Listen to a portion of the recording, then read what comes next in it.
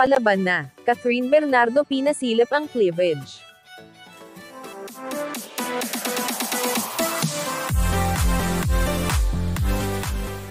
Napawaw ang netizens sa lalim ng cleavage ni Catherine Bernardo.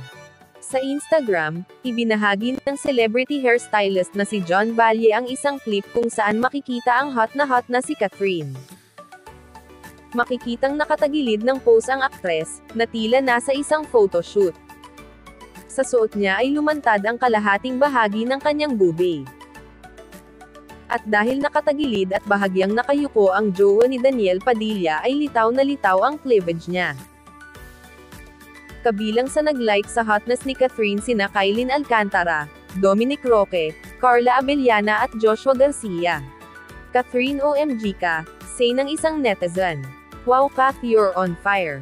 My God palaban na ngayon love you Kath ensure na ang lahat watching from Ryan's na Makta Keita and Fersen, sambit ng isa.